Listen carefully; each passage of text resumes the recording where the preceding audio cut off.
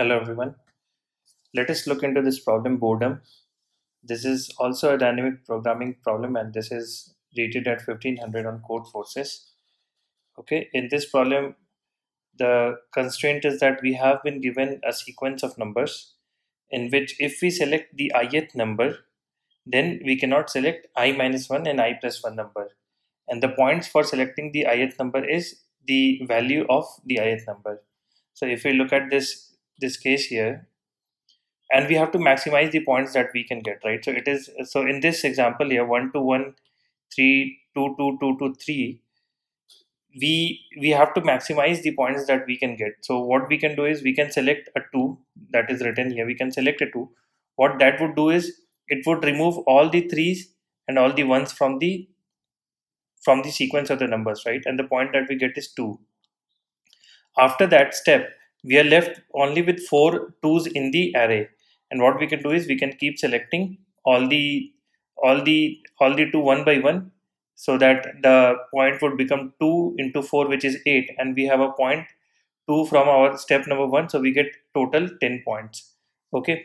I will also explain this question in a bit more detail. So this is 1 2 1 2 2 2 2 and 3 so what it says is that every time you select an ith number, right? Every time we select an ith number, we get i points, i points, right?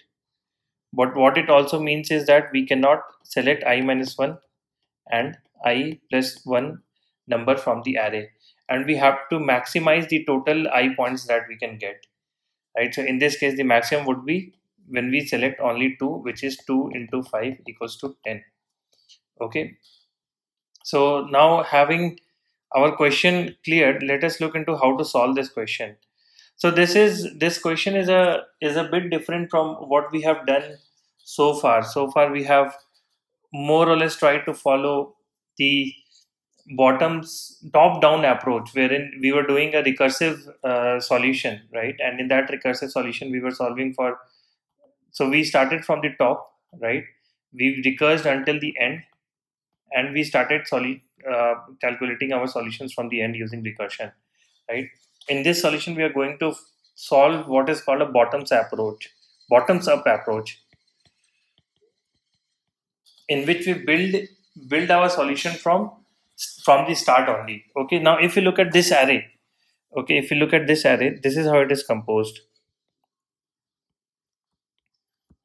so let's say this is zeroth index this is first index this is second index and this is third index right? How many so 0 will always be 0 because the range has been given as 1 to 10 to the power 5 so 0 is always going to remain 0 so how many elements of 1 are present in the array? So there are a total of 1 2 elements right? So we will write 2 here right? And how many elements of 2 are present? 5 so we'll write 5 and how many elements of 3 are present? So we'll write 3 now what is the maximum value here? So let's look here. What is the maximum value that can be present at this zeroth index? It can be zero right? Because the range starts from one. What is the maximum value that can be present if our array is only having one? It the answer is two because we have two two ones. So the answer becomes one into two now what is the what is the maximum that can be present here? What is the maximum that can be present here is the question right? So let us look into this.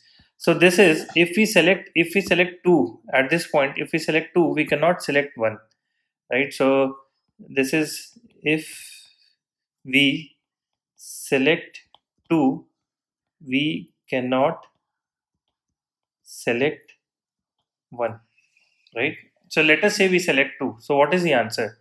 2 into 5 equals to 10 right? Okay and because we are not selecting one here so the answer is maximum maximum of 2 into 5 equals to 10 or 2 right? So the answer at this point of time is 10 now let's go to let's go to this 3 and see what happens.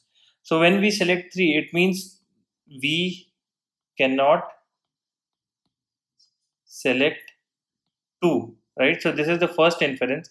The select second inference is we can select 1 right so this is this is a very very important inference that we have so the answer now becomes max of 3 into 1 plus 1 into 2 right? Comma 5 into 2 right?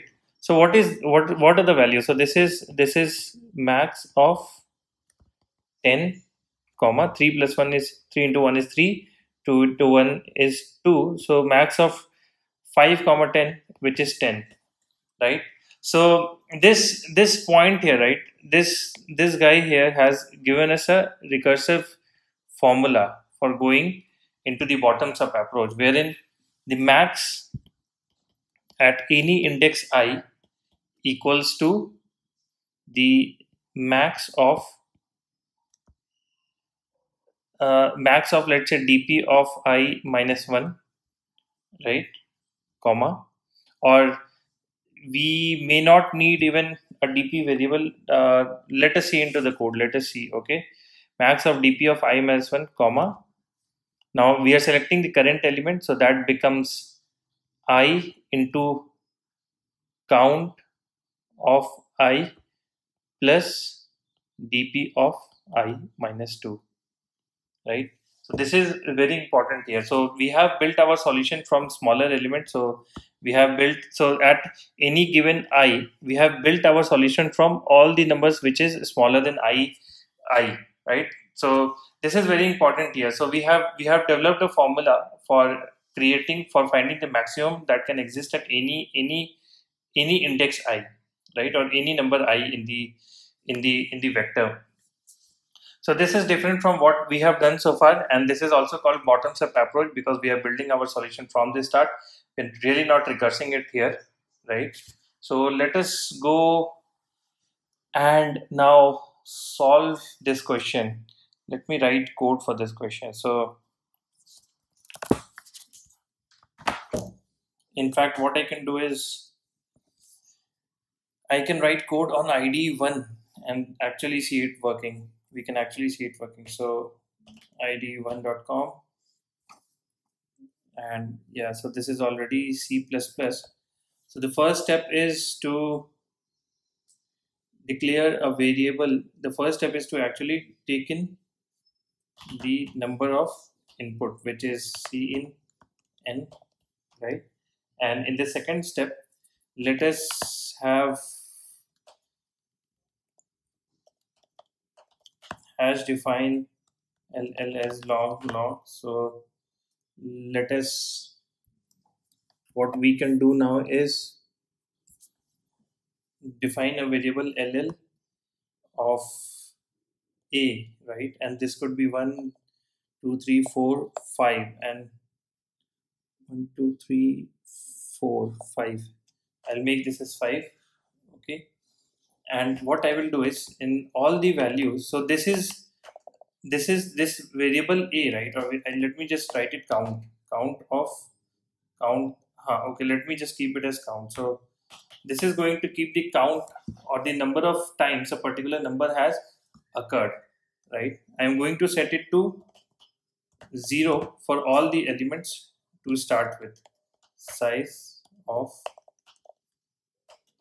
count let me just call it count array.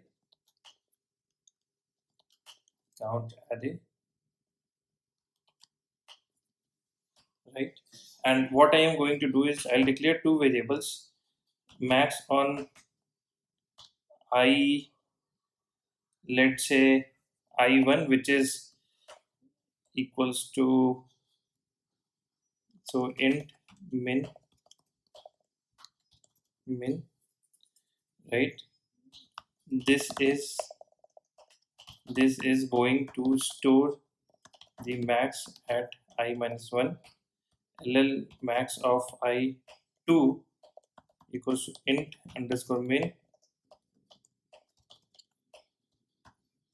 this is going to store the max at i minus 2 okay? And now what we can do is we can simply start our loop. So for int i equals to 0 i smaller than n i plus plus. So let us see the current number. So int j or current see in current and what we now need to do is in the count array count array of current we just need to increase it by 1 now let us have so let us declare two variables. So one max of i 2 equals to 1 okay this is for this is for index 1 okay? Or let me sorry. Uh, max of i2 equals to 0 this is for index 0 right? And max of i1 equals to 1 this is for index 1 index 0 index or number 0 or number 1 right? Now what we will do is we'll start our loop from to int or let me just yeah this is int int i equals to 2 i smaller than which is the smaller than equals to which is the maximum range 1 2 1 2 3 4 5 3 4 5 and i plus plus. What we need to now write is uh, let us also declare a variable called cur okay? Current max so current max equals to maximum of either we would have taken the last number which is max of i1 or we could take the current number which is i into multiply it by its value in count array. Okay multiply it by its value in count array of uh, i plus we can take the plus we can take the i minus 2 which is max of i2 right? And once we have done this equation i2 becomes i sorry max of i2 becomes max of i1 and max of i1 becomes current max right and in the end all that we need to do is see out max of i1 right? This is what we'll have to print out. So let us see if it works or not. So our given input let us run over this thing here. I'll paste it. Just copy it. And if I now run let us see what happens okay so there is a problem memset wasn't declared which is okay so what we will do is we are going to declare memset. I am going to include hash include algorithm and I think that should be it. Okay memset is still not declared which is a little strange. So let us do one thing. Let us try this hash include bits slash stdc++ plus dot h. We can also remove. If this doesn't work we'll just quickly google as to what is the problem. How do we? Okay so count array wasn't declared so this looks like a syntactical error so count array here is not declared okay and uh, this is line number 21 so i think all the errors are gone Okay, so the output is 10, right? So in this case, we actually did not needed a recursive solution. What we needed was to build upon smaller numbers that we already have, right? The most important part here was to figure out this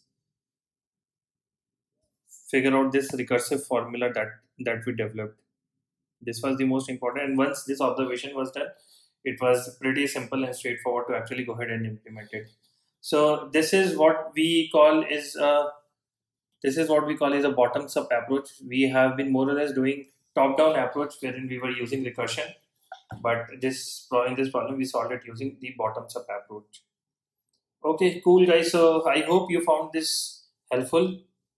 Please like, share, and subscribe, and let me know your feedback in the comments. Thank you. Bye.